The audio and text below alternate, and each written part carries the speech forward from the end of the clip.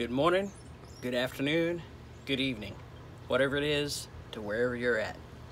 91 Cav GT here, uh, coming at you with a cargo trailer update. Uh, yeah, got a little bit of work done, uh, making a little bit of progress. Um, unfortunately, the cargo trailer right now is having to do multi-duty, multi-purpose duty. Um, not only is it in process of being converted into a little camping trailer, but right now I'm also having to use it as storage, as my little workshop area, since I'm now doing the whole RV life thing. Uh, don't really have a good place that I can solder. Can't do that inside.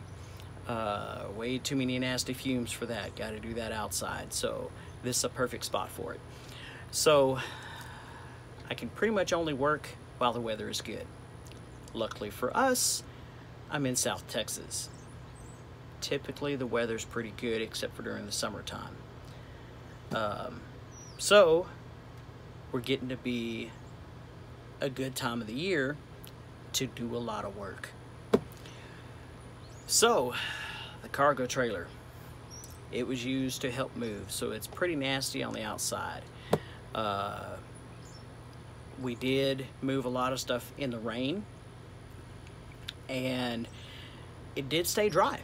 Uh, there were a couple of little areas that did leak a little bit of water, nothing major, um, but nothing, nothing enough to warrant completely rebuilding anything, nothing like that.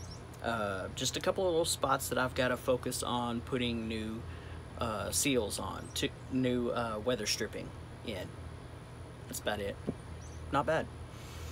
Um, I'm very happy with how this cargo trailer did during the move. Uh, we have a Volkswagen Atlas SUV uh, as a tow vehicle for this. That's what I was using. And it has a turbocharged four cylinder. And even with this loaded down uh, with stuff, going back and forth, which so half the time was loaded, half the time was unloaded. But the car averaged 20 miles per gallon. I'm pretty happy with that. Uh, the storage unit where we were taking most of our stuff to versus where our house was uh, is about 15 miles away, one way, and most of that was highway. So, very happy. Uh, 20 miles per gallon pulling this thing, and that's with it loaded. So once I get completely finished with it, um, I can really expect to get 20 to 22 miles per gallon on the highway. So I can't complain about that. That's with that Volkswagen Atlas. Uh, different vehicles obviously will get different gas mileage. but it seems to be paired up pretty good for a trailer of this size. So I can't complain. So what have I done with the trailer since the last video? Um, quite a few things. So let's flip around and take a look. All right, like I say, it is being used for storage and as a workbench. Um, just got finished doing some work, but let's move back a little bit. And the doors here, I redid the weather stripping up top, changed the weather stripping all through there, and same thing on this door. Changed the weather stripping out, and it has really helped out a lot. It really seals up better. Now I've got to do some weather stripping down at the bottom of the doors because it's not going to really stick there. But down there at the bottom of both doors, and that will help to seal at the bottom going all the way across. So, got that done. Like I say, the outside of the trailer is still pretty dirty, pretty nasty. But, got the solar panel on the front for recharging one of my projects right now inside. So let's climb up top and look at that. that. is now a huge flexible solar panel that was has now been mounted up on the roof. Now I still need to get the terminals and run these wires inside.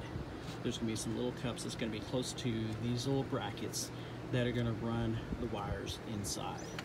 It's gonna be kind of like this. This particular solar panel, I really lucked out on. Uh, found it online and this particular solar panel uh, I believe is about 280 watts if I remember correctly. Um, it doesn't put out a whole lot of current. It's only about three and a half amps of current but it's like 70 something volts. So it's really high voltage low amperage. I already have a charge controller for it this is all mounted it's sealed up this is seal tape so I went and actually uh, put the solar panel, I cleaned everything up really good first up top.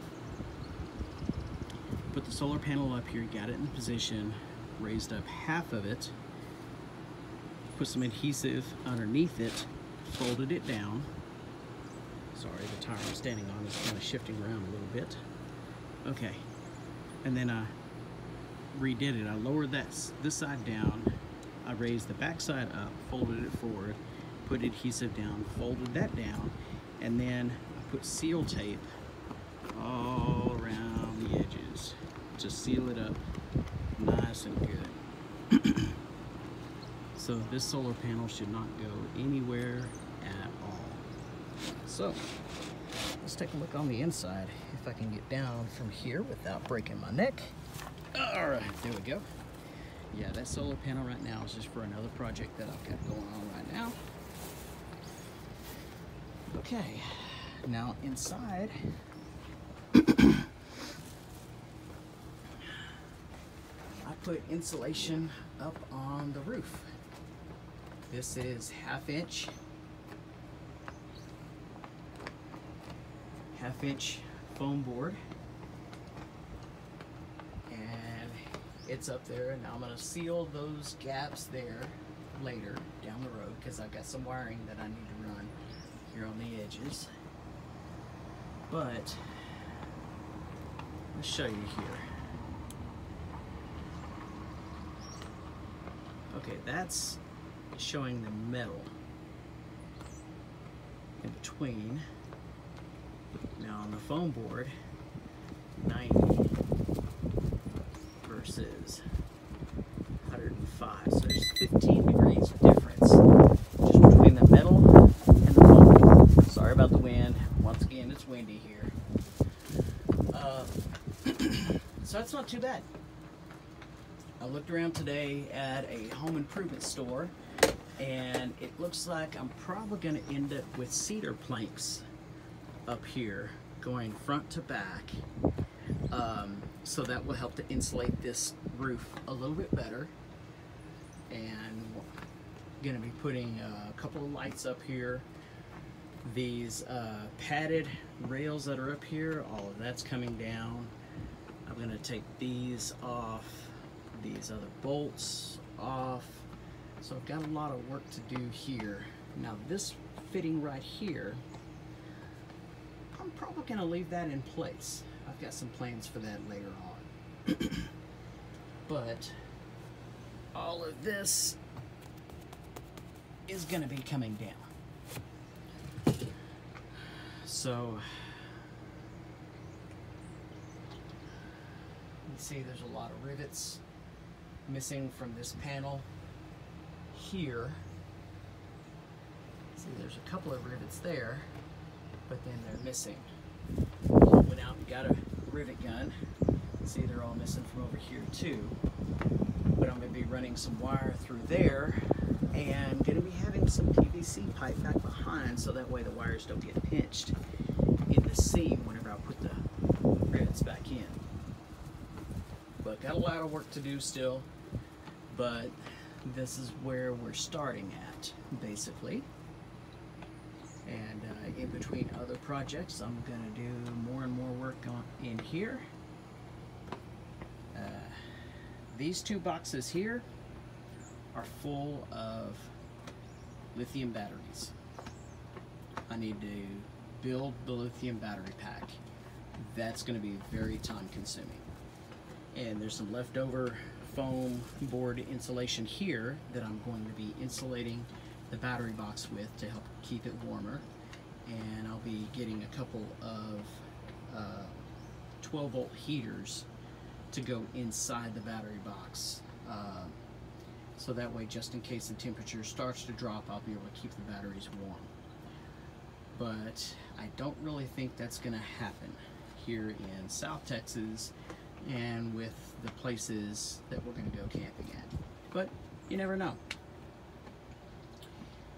So anyway, that's where we're sitting at. so, sorry. Uh, one downfall of being in South Texas is there's a lot of pollens in the air. Plus, we just had a cold front blow through, so it mixed up a whole lot of stuff. In the air, that is. So, anyway, um, making some progress, getting some stuff done. Um, uh, the next step, I have on paper written out what all I need to put inside here. That's the water tank, the water pump, switch panel, uh, the solar controller, the power inverter, the charger for the battery bank, the battery bank, uh, the lights, all this kind of stuff. I need to sit down on paper and figure out exactly where all of that is going to go. So that way I can plan out accordingly what I'm going to be putting where and what I need to put up how I need to put up and how I'm going to insulate these sidewalls. I don't know if I'm going to do a Reflectix on the sidewalls um, and then put one by twos on the sidewall so there will be a little bit of an air gap in between the Reflectix and the inside uh, panels. I don't know. I really don't know yet. I haven't decided on that. But that's one of the things I have to decide as well what is going to be on the inside um, as far as insulation and am I going to continue with those cedar pickets on the walls. I might. It would sure smell good. But I just don't know yet. I just don't know. It's more stuff I need to sit down and figure out. So until next time God bless you. Thank you for watching and you have a good day.